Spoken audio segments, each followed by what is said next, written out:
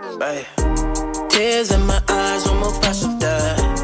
Ice cream good when it's hot outside. Yeah. Party like it's 99. Yeah. Yeah. Hit me, baby, one more time. Yeah. Blueberry coupe with vanilla. Hello, everyone. Happy Monday. Happy Monday.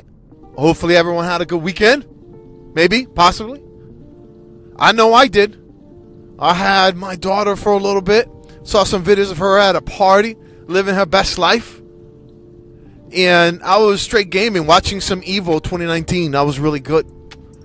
I was supposed to go to the event, but because I didn't practice, man, I didn't practice enough. I've been on Call of Duty. So if I'm on Call of Duty for the last four or five months, or since it came out in November, so what's that? That's a long time. And and I'm thinking I'm going to show up to a tournament, a world tournament in Vegas, and test my might. It's not to work. I'm to get my ass kicked. You know, like I'm I'm decent. You know, but I'm not I'm not competition worthy on the games that I wanted to compete in. But nevertheless, it was a great, great weekend for me. I haven't been doing as much podcasting. I'm getting some new uh, equipment. I'm to be doing vlogging shorter spurts. You know, I think people are tired of, of me ranting away for that long. And I think I have enough stuff for my daughter to listen to when she gets older. If I, you know, I have those long rants one on, but I'll keep it short and sweet. You know, vlogging videos is a little bit harder process. It takes a little longer to equip, you know. But anyways, but yeah, the one thing you never get told is when you're having these conversations with new women, right? I mean, women post all this shit on social media, and then when you engage with them, they're just not very good about it. And there was this one in particular, I forgot what she was posting about, but I think uh, she was saying how, if, if, I'm not mistaken, and I was on my Ambien Roseanne kick, Ah, it, it, it was something along the lines of, uh, you know, women and men just kind of respecting one another and and valuing each other's roles. And and I was like, cool, you know, I get that. But it, and I told her, well, it seems like a lot of women want men to facilitate their lifestyle and be able to support them financially. And she and we so we got into a little bit of a conversation where she just says, you know, I look for a traditional man. And I'm like, okay, that's cool. Nothing wrong with that. And I said, well, you know, I I view relationships as kind of a, a partnership. So you have your roles, I have mine. We, we're emotionally and financially independent. We're, we're not depending on one another. And she goes on to just laugh at me, basically. I mean, she goes on, and I was like, wow, you're totally clueless. You know, that's not what I'm talking about when I wanted a man, but you're clearly not a man. she said, I am not a man. Ouch. Trying to hurt my feelings there. And I just I just brushed it off. I was like, hey, you know, no problem. So tell me what your definition of a man is. What that consists of. And what what does she do? She simply says, "Look, I'm not going to waste my time with you because I'm not trying to be insulted." Okay. Wow. I sent that over to my friend and he goes, "Man, what a cunt." and I screenshot everything so he could see it. It's like, yo, this is not because people don't believe that I have these conversations with women. Like they really don't think that. And if you look at that woman, I mean, she yeah, she looks good, but she's not something you would think as Instagram million followers.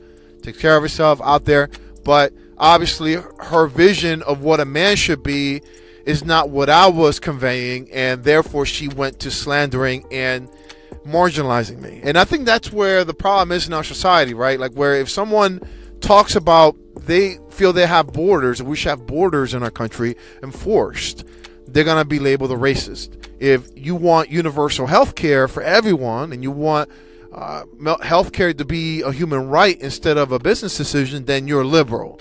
So it's this is kind of how I compact that type of thinking and that type of mindset where when she knows she can't have a, a, a clear conversation and many people can't when it comes to their views and contrasting views without being insulted and taking it to a childish like slandering back and forth like she called me she thought i was not a man i'm like okay i mean that's you know, jokes on you, but okay, so tell me what your definition is of a man. And it's okay to disagree, but but she really went ahead and quickly went into slandering. Not slandering, but just calling me a name. That obviously if she knew me, understood me, she probably wouldn't apply it. But she doesn't. She doesn't care to. And this is where I always go back to always that with women, this is why I don't shoot my shot. Because when you shoot your shot and you're respectful like I am, they'll find any reason to kick you and make themselves feel good. And that that person in particular lets me know that they've dealt with a lot of insecure men or deal with men that are very easily triggered and they have to watch what they say because all of a sudden they're going to be called a cunt, a bitch, a whore, whatever it is. And I get it because those men are out there at, and they do that as a parting shot. But if she would have saw what I was writing, then she would understand that I wasn't trying to go that way. I was just trying to get a genuine dialogue with how she felt. I knew this wasn't going to go anywhere, but at least I'm trying to understand how a person feels out there. But you know, again, I mean, the people just take shit to another level, and all of a sudden, if you don't agree with them, then they're going to go ahead and kick you to the curb. And it's women like that where they don't understand when they're saying these things and they're not allowing for conversation or uh, differences to be discussed, they're only allowing the actors to be in their life. What do I mean by that? Well, there's, in my opinion, a lot of men, they're going to go ahead and tell you what you want to hear. I'm telling you right now, and there's some women that got. I actually saw a post. Now I think about it, I saw a post of a woman saying, "Why am I going to tell you what kind of man I'm looking for so that you can act like that man for a few weeks until you have sex and leave. Boy, bye. And I said, you know, that girl gets it. That girl understands that men are going to play along to whatever it is you want, whatever it is you want to hear until they have sex. Until they have sex, then it's then they'll decide, okay, it's just a one-time deal. It was okay. If they liked it, they're gonna keep doing it and then keep portraying that and keep portraying that. But eventually, that acting comes to a halt. Same thing with women. I mean, both sides play, but that's basically the, the game plan for men in the beginning. Be the man that you want them to be and portray that for uh, however long it takes until you're in a relationship with them or, until you're exclusive with them. And then that's when you start seeing the armor come down, all the true colors and all these things that women complain about after the fact. Because you went ahead and didn't understand that men play along to get the sex, to have your company, to have you be exclusive with them. But this woman obviously doesn't understand that, but she's probably in that vicious cycle of being with men for a year or two and everything being perfect, and then they get dumped and then not get dumped, but they go ahead and, and, shit comes out and they don't like it, and then they end up cutting the person and then moving on and thinking there's a plethora of men out there. Again, they're going to tell you what you want to hear. And the sooner you can realize that, then your whole process can change as far as how you filtering out a guy. And that, that's a shame of it because women ha- hold all the keys when it comes to that facet. I really think when it comes to average girl and average guy, the girl has the upper hand and then some. The only time I have the upper hand as a man is when I have a lot of money, when I exude a level of wanting to provide and wanting to, you know, all these things that fall down to that princess category.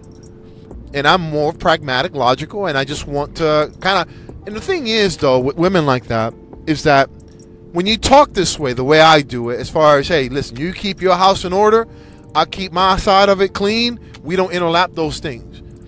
I'm obviously long term. If you're with somebody that you care about and you have feelings for, you will do things for them. You will uh, extend yourself re- uh, via resources, via time, money, because you care for that person. It's no different now than if a friend that I cared about has something happen. We have a history, of course. That's a natural inclination. But what when I talk about these things, eh, when it, you know keeping your house and your room clean and, and you know we keep everything separate, I think that's in the beginning stages. So we have to have a period of okay, let's fill each other out, but don't dump it on the other person right away. And that's what I see the microwave mentality when it comes to these women. It's like, okay, you're giving me everything I want. You're telling me everything I want to hear. Here, here's the, let me dump off everything. And that's where I think that's not building an authentic connection with that person. It really isn't. And it's a shame because you you get into the mindset like this woman where anybody that doesn't fit the wording of you want, you're gonna go ahead and think of them less and cut them off. And I get it. I, I, you don't want to waste time because you have hundred applicants every day. You know, I I totally understand, but I think you can do it in a way where you could still be respectful and understanding of someone's way. Now, if the guy's being stupid, you know, that, and that's the way I am. I, I mean, the way I am is if someone, it, it, I'm going to be sarcastic and stupid if you're starting with the stupidity. So that's where I understand it. But if I'm coming at you respectfully, even though you may not agree with me, I think you could you should only give back what you're given. You know, just reciprocate. Treat people how you want to be treated. And when someone's being a jerk, you treat them as such. And you remind them, you started this. I always tell that to my daughter. Don't finish anything, just start it.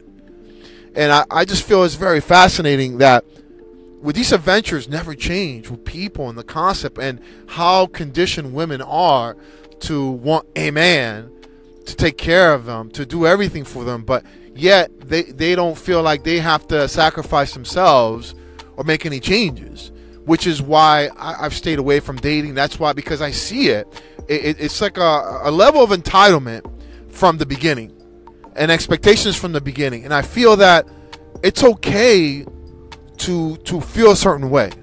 Like it's okay to have those expectations, but I think in the beginning you have to fill each other out. There has to be a period where those heavy details have to be put aside, and you have to just learn. Okay, let's just kind of be into it with one another, not expecting anything, not expecting. You know, let's just kind of get to know each other organically to see if we can even become friends.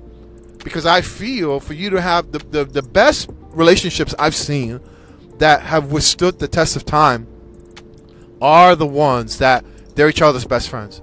They hang out. They have no problem. That you can tell they get along. There's a friendship base to it, and that's that's what I always tell people. Uh, you know, my daughter. That's the, out of all the shit that I ramble. I always say, look, just find a friend.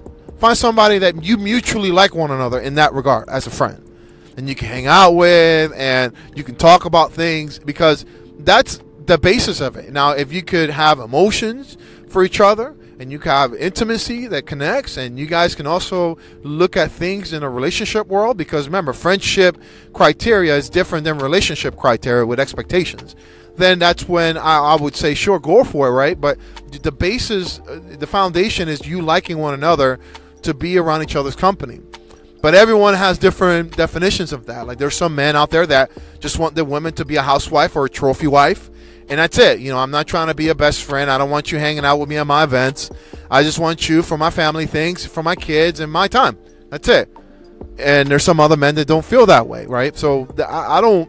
Whatever it is you choose to be happy with, by all means, do it. But I, in this in this case in point with somebody, just diminishing or, and ridiculing how I feel and trying to say to me that I'm not a man I, I think it's hilarious because you can tell that person is is so shallow and, and hasn't really thought through or, or, really understand or accept other different points of views other than hers.